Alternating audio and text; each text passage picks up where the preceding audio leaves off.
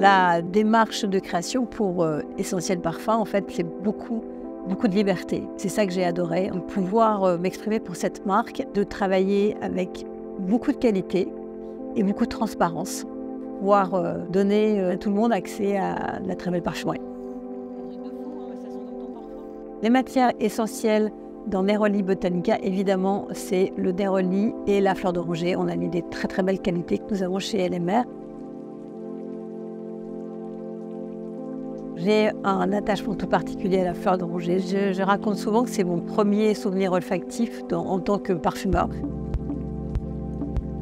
Elle est fascinante, elle est à la fois euh, fraîche, elle est à la fois voluptueuse, elle est sensuelle, envoûtante, elle est rassurante. Et on peut jouer avec euh, la fleur d'oranger euh, donc, vraiment beaucoup de, parfums. Et je pense que pour euh, Essentiel Parfum, je me suis exprimée avec la fleur d'oranger sur tout, nouvel opus. Je l'ai contrasté avec des épices et je trouve que ça lui va drôlement bien. Et un socle de, très beau bois, du vétiver, un vétiver concentré et un, santal de Nouvelle-Calédonie.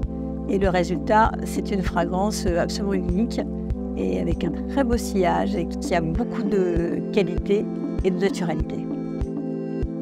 Neroli Botanica en trois mots, je dirais androgyne, solaire et vibrant.